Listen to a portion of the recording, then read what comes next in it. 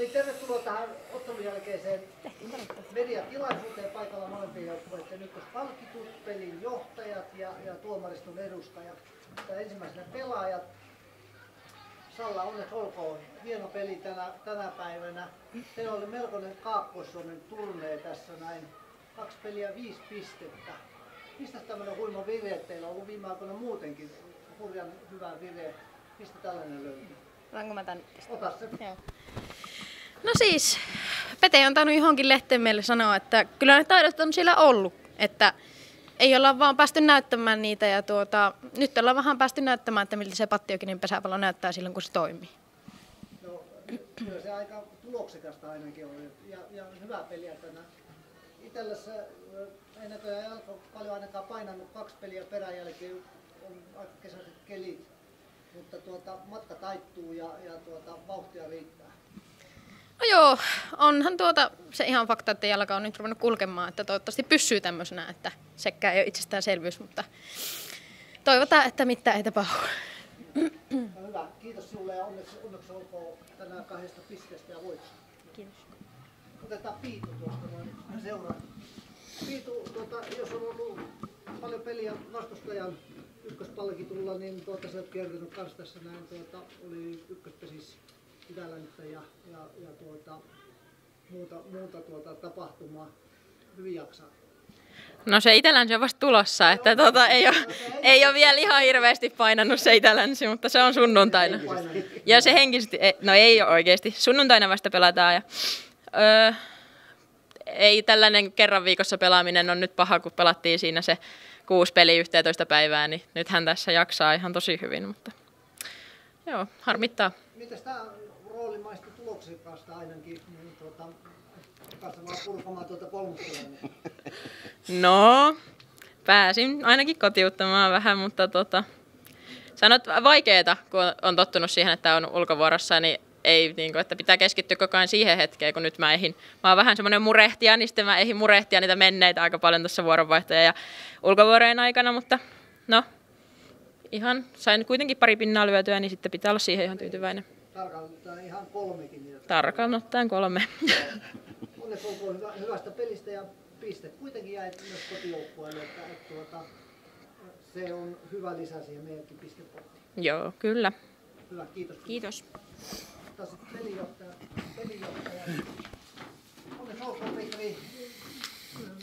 Tosiaankin teillä, teillä on ollut valtavan hieno tämä, tämä viime, viime aikojen tuota, lento. Voittoja tulee putkeensa ja, ja täältäkin kuitenkin tässä niin ollaan olevinaan Kaakkois-Suomessa molemmat hyviä joukkueita, niin Kuusankoski kuin täälläkin, ja, ja tuota, viisi pistettä kahdesta ottelusta. Mistä se on, kun Savita on ilmestynyt tuohon, tuohon mukaan, mukaan, onko se tuonut sen sopivan lisäripauksen keittoon?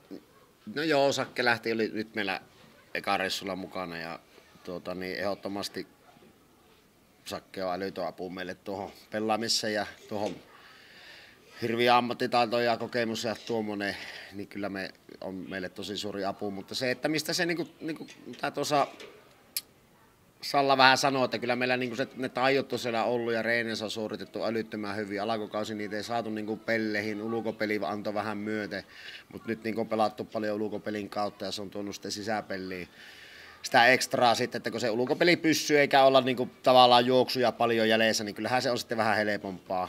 Ja tästä päivästä nyt onhan tuolla noita meillä niin noita nollavuoroja aika paljon sisällä, että tuota, eihän se nyt sillä pyörähtänytkään, mutta sanotaanko näin, että kyllähän meillä oli nyt niin kuin kauan paras lukkari vastassa. Että mä en saanut sitä yhtään otetta oikein missään vaiheessa ja kyllä mä sanon, että lukkari oli tänään ehkä suuri syyllinen siihen, että se si- sisäpeli ei sitten taas pyörähtänyt oikein kunnolla, että, että tuota, ei ollut oikein, oikein hyvää pelijohtamistakaan välillä, mutta tällä kertaa se nyt riitti. Ja, ja se nimenomaan tuo toinen jakso sen ulkopelin kautta, että kyllä se sitten tehtiin ne palot, kun oli tehtävissä. Ja vähän meinas mennä tuossa lopussa jännäksi, mutta tuota, onneksi nyt kuitenkin näin meidän kannalta. Se oli hieno, hieno torjuntavoitto siitä ja, ja tuota, tuota, hyvältä, hyvältä näyttää, jos oma matka tahtiin jatkatte, niin tuota, en sitä tiedä, jos vielä tässä kesämitaa vielä, vielä tavataan pysyiskentällä. Toivotaan, toivotaan, toivotaan niin molempien puolesta. Kyllä, kyllä. Joo, kiitos. Meijer, pelin lähtö oli erinomaisen hy- hyvä. Ilme oli, oli raikas. Siinä oli paljon sitä, mitä on, mikä on ollut kadoksissa tässä, tässä pitkään. Se oli tuloksenkastakin 3-0 ensimmäisessä heti sisävuorossa. Ja ulkona suoritettiin koko ensimmäinen jakso hyvin, että paikoista tehtiin vaan, mutta, mutta mitä sitten tapahtui? No en tiedä. Tosi tyytyväinen siihen ensimmäiseen jaksoon, kun keskityttiin hommaan ja tehtiin omat, omat vuorot siellä hyvin. Niin, ja se oli hirveän kivaa pelata. Ja ulkona oltiin tasaisen vahvoja siinä. siinä että, tota, niin toka jakso sitten, kun se alkoi ulkoa, niin siihen heti ropellettiin vähän. Niin ehkä se vaikutti meidän sisäpeliin sitten, että oltiin aika, aika tehottomia sisällä. Toki sitten sen neljännen, neljännen tasoittavan nousu sieltä kahteen, kahteen kolme oli kyllä lämmitti mieltä, mutta olisi se nyt ollut kiva päättää siihen toiseen jaksoon tuo peli, mutta näin tällä kertaa sitten Kotarissa ei oikein käynyt, käynyt mikään. Joo, nyt on jonkun verran muutoksia tuossa niin tuohon, tuohon kokoonpanoon, tietysti kokoonpanojen loukkaantumisten takia vähän elänyt muutenkin tässä, tässä mutta tuota, onko tässä nyt sellaista ää, juonta jatkoa ajatellenkin, niin, niin tuota, onko tämä rosteri, millä lähdetään, lähdetään tästä eteenpäin?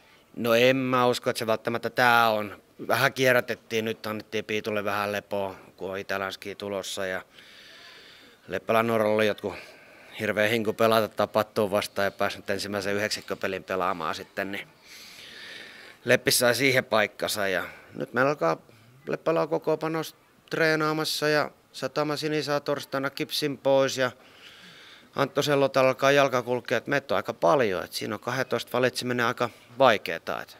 Mutta suuntaviivat varmaan alkaa olemaan jo selvillä. No, se on aina myönteistä, että sairaalaosasta tyhjenee ja mm-hmm. tuota, se on tuota, myönte, myönteinen asia pelijohdolle, että on tuota enemmän mistä valita. Hyvä niin. Kyllä. No niin, onneksi olkoon yhdestä piste, pisteestä ja tuota, tuota, tuota, ilme oli alussa hyvä. Sitä ylläpitää nyt seuraaviin peleihin, niin, niin tuota, eikä tämä laivan keula rupea kääntymään taas niin kuin yläviistoon. Ja kyllä sitä varmaan tuolla pohjoisessa tarvitaan sitä ilmettäkin. No niin, hyvä. Kiitos. Kiitos. Kaikille kiitoksia myös Kuokalistolle hyvästä toiminnasta ja hyvää kesäjatkoa. Kiitos.